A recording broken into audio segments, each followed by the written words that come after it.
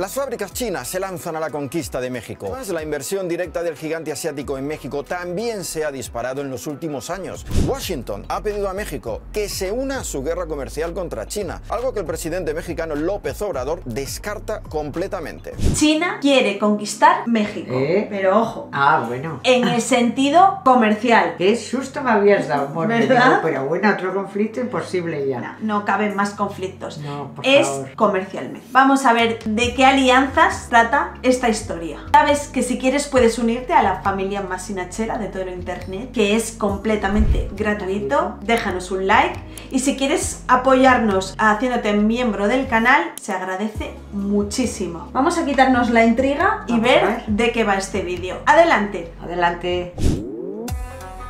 Las fábricas chinas se lanzan a la conquista de México. Mientras que el comercio global da señales de debilidad, el envío de bienes de China a México ha aumentado hasta convertirse en una de las rutas comerciales de mayor crecimiento.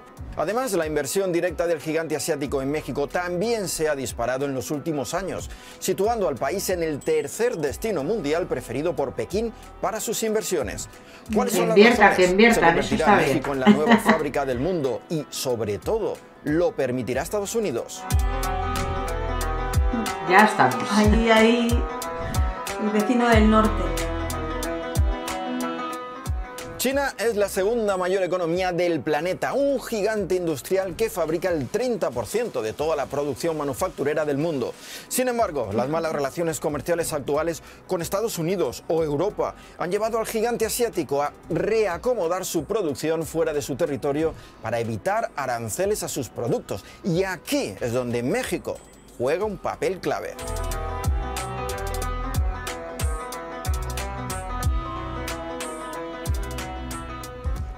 Bueno, México tiene una posición estratégica, ¿no? O sea, México Pues es sí. colindante con el, el mayor mercado de- del mundo, ¿no? Y además México tiene firmados 14 tratados de libre comercio con cerca de 50 países.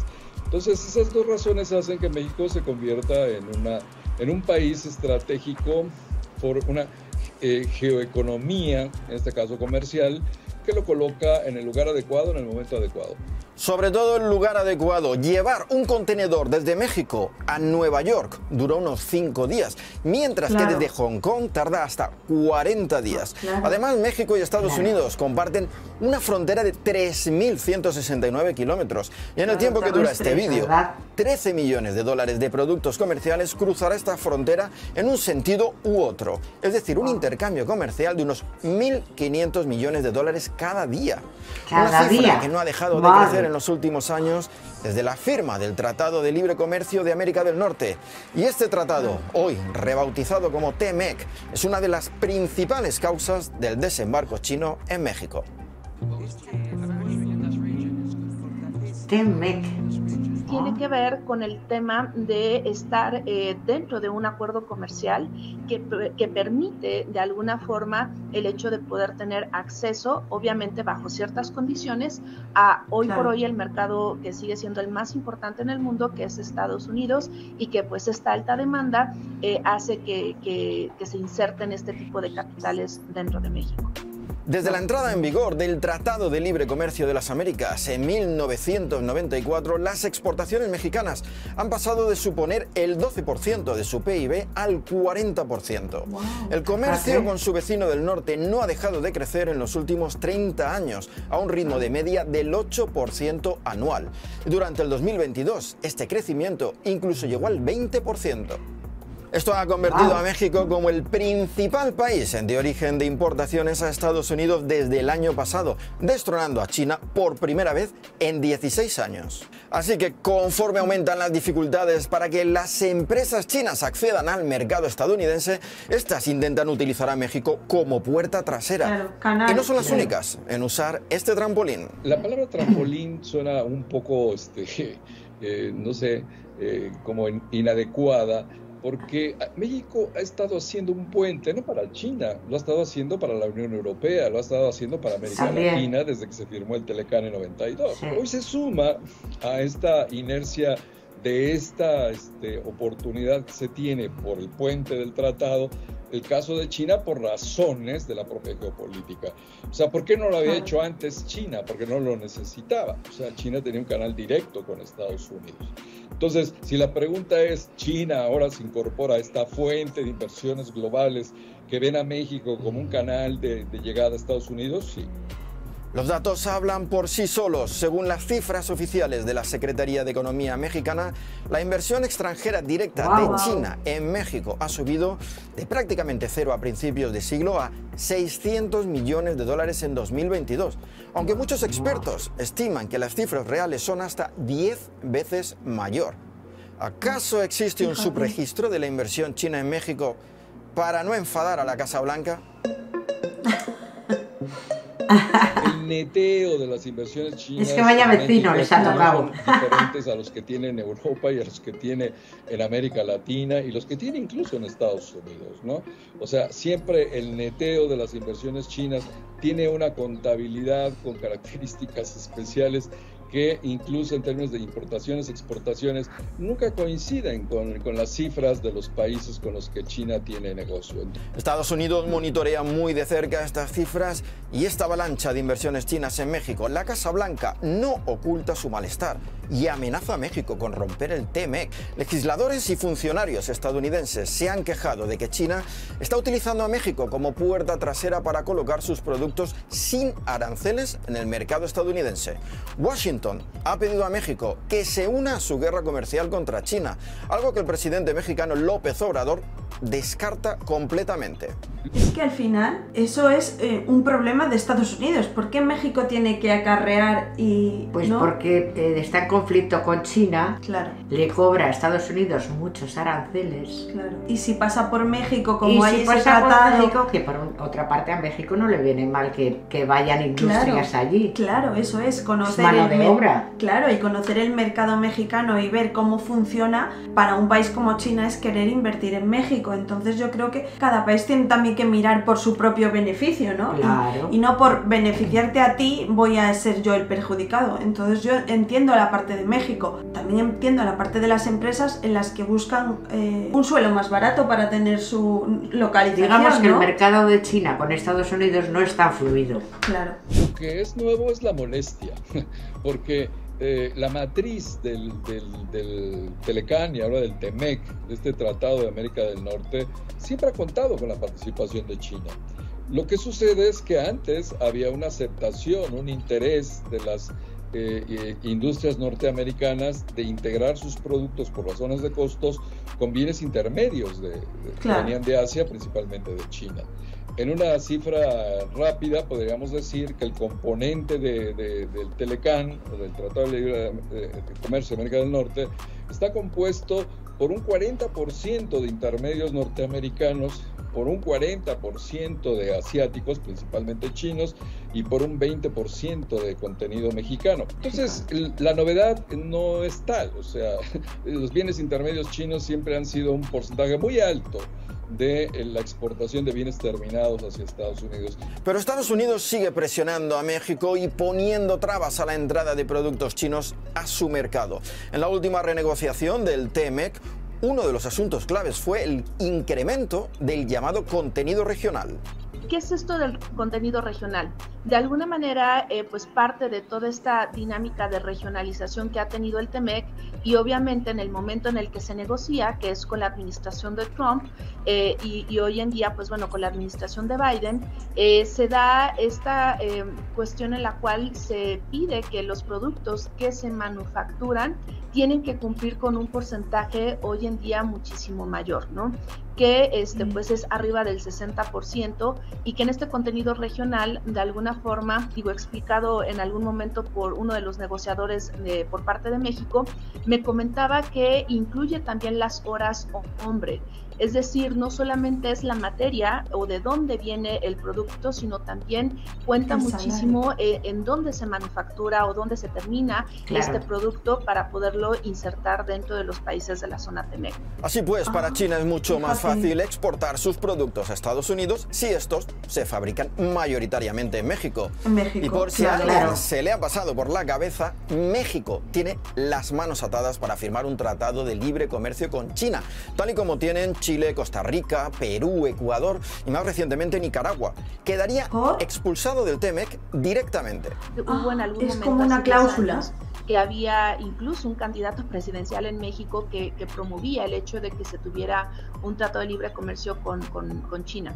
Sin embargo, es curioso porque dentro de la propia normativa del TEMEC hay que este, recordar que existe esta cláusula en la cual eh, es- está firmado, en el cual este, ni a Canadá ni a Estados Unidos y por ende a México se les permite firmar acuerdos de libre comercio con economías eh, que no cumplan ciertos requisitos, principalmente estas dinámicas pues más pro-occidentales, en las cuales pues eh, prácticamente quienes, ah, hay dos países que, re- que recaen ¿no? en estas características, que es el caso de Rusia y es el caso de China. Pero ni estas trabas impiden nuevos desembarcos de inversiones chinas en México.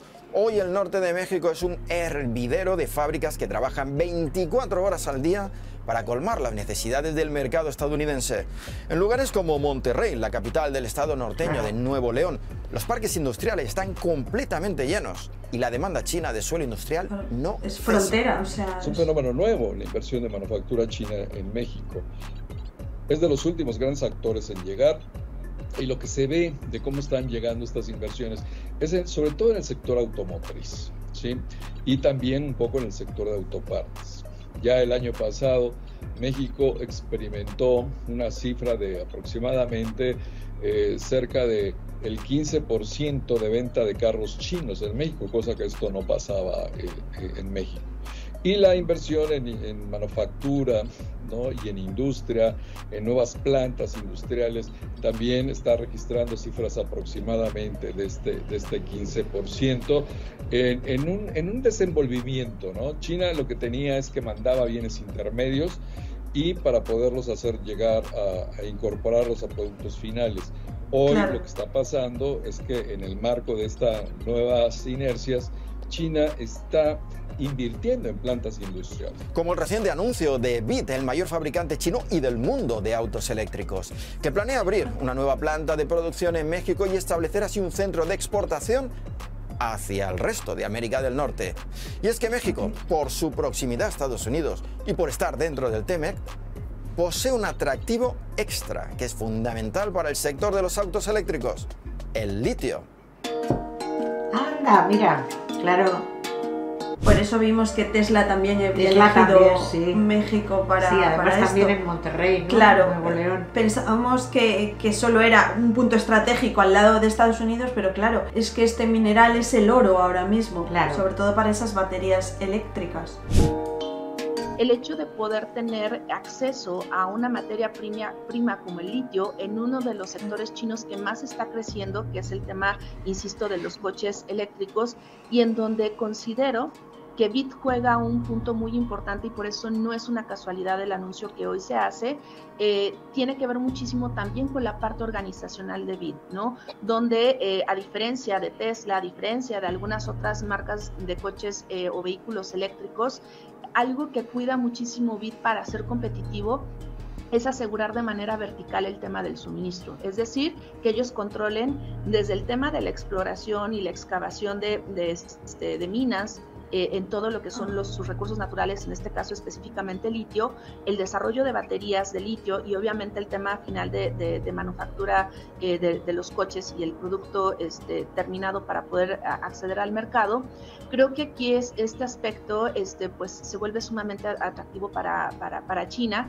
Y es que aunque claro. México no forme parte del llamado Triángulo del Litio, sí está dentro de los 10 mayores productores y lo más importante, posee el mayor yacimiento de este mineral de todo el mundo, en el estado de Sonora. De acuerdo con el ranking de Mining Technology, la mina de Baca de Huachi cuenta con unos 245 millones de toneladas de litio. Y bueno, adivina, bueno. ¿de dónde es la empresa que ganó la concesión para extraer el litio en Sonora? En efecto, de China. Pues ya lo ven, nadie duda que México juega un papel importantísimo en la manufactura mundial. El desembarco de las empresas chinas en México ya es una realidad que va en aumento. La pregunta es, ¿hasta cuándo lo permitirá Estados Unidos? ¿Qué piensan ustedes? Dejen sus comentarios. Yo creo que síntoma de que un país está en buena sintonía y está creciendo Sí. es que las empresas te elijan, ¿no? Sí, Para sentar bases y poner sus empresas y hacer desde cero un producto, ya no solo terminarlo, sino que se haga allí Sí, desde cero. manufactura ¿no? total. Totalmente, o sea que en parte México tiene que mirar por su bienestar y esto hace crecer la economía, ¿no? Y cuando Sí, sí, por supuesto. si tienes trabajo no te mudas, ¿no? Si tienes Mm, un buen sueldo no te vas, no buscas otro sitio. Entonces es como el desarrollo de un país viene por, el trabajo, ¿no? Las personas necesitamos tener un sueldo y eso te lo dan las empresas y un trabajo, estabilidad. Entonces igual ahí está ese tira y afloja con Estados Unidos. Ya. Totalmente. Pero si está hecho en México es mucho más fácil que se venda a Estados Unidos. Es que tiene que mirar sus pros antes que los contras de Estados Unidos. Yo creo que un país primero tiene que mirar por él mismo. Sí, desde luego. Y luego tener el mayor consumidor del mundo de vecino es la leche, ¿no? Sí. Porque la sociedad estadounidense es una de las que más gasta del mundo, la que más consume productos. Entonces, estar aquí en la fábrica y solo tener que pasar frontera frontera. terrestre, los costes son mucho más baratos. Entonces, yo creo que que China esté eh, a favor de que se construyan cosas chinas en México es, es lo normal, yo creo, ¿no? Sí, yo creo que también. Yo Y- creo que también. Y Estados Unidos además tiene que tener que tiene que vender de todo. O sea, que Claro. también tiene que comprar a China, quiera o no. o no quiera. Eso es, de esto va el comercio, ¿no? De que nunca eres autosuficiente, que tienes que contar con otros países para salir adelante y subsistir. Me ha gustado este vídeo, la verdad. Sí, está bien. Nada más, desearos que paséis excelente día y nos vemos mañana en un vídeo nuevo. Adiós familia, Adiós, papirrines. sin hacheros. Sin hacheros.